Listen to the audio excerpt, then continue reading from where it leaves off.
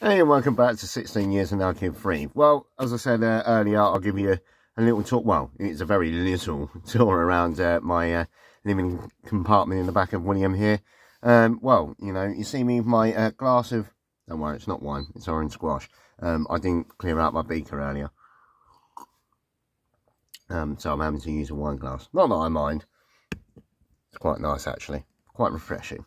Um, yeah, but you know, my nighttime uh, um, duties is usually some uh, wet wipes, um, so I can give myself a bit of a clean. Yeah, well, not quite that dirty, but you can get what I'm saying. Uh, you know, you need to do it. I'm not going to do all of it um, on camera because I doubt any of you not ever want to see any of that. Oh, behind them ear holes are always the best part. Oh. No, you don't want to see that. but yeah, I'll do a bit more of that uh, in a little bit.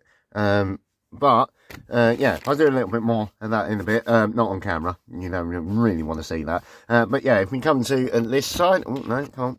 Spin round. Oh no, I forgot. It's all tied in. Yeah, all right, let's go around here. So if you come to this side, to make it a little bit, uh, well, that's my uh, little food box down there that's got all my noodles and noodles and noodles and more noodles and oxtail soups, uh, my little drinks, and then uh, I've got me squashes down there, me crisp packets, can't forget me crisps, uh, little munchies and everything, my chocolates are in there because they kept melting, and then shut myself off from the front of it, I've got my little curtain here, I can pull across, um, I'm trying to do this, uh, there we go, um, that goes, oh god, uh, come on, in you go, hey, up. There we go. And that shuts myself off from the front of it. And then around to the back of it, uh, if I can place that in there good enough. Uh, there we go. I've got my itself. Right. Well, it usually goes underneath the front, but what I did is I've got some um, sticky uh, Velcro there. So if I switch that this way, swing that around there, open the window.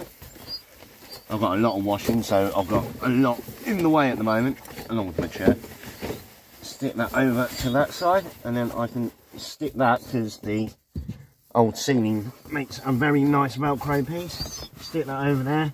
I always keep my uh, trainers down there so if I need to get out and go and have a wee or something like that there's a hand. There you go and it does make it uh, quite dark in here. If I turn the lights off quickly there's one and uh, there's two. As I said I vanish like that quite oh that way so I've got a fair bit of light in here. Yeah, the headroom's not all that, I must admit. But for a cheap little runabout that anybody can buy, you know, you cheap little estate car, high mileage estate car. Um, yeah, well, Williams, I think we're up to about 103,000 miles in William, and I bought him at 97,000. So he's doing well, uh, considering I've put about nearly 2,000 miles on him just doing this adventure since the April the 20th. But yeah, this is my little place. Um, when I get into my little snug area, ah, pull my old sleeping bag up. Might send a few pictures of this, but there we go. That's that. Pull my old sleeping bag up. Make sure he's tucked down under my feet.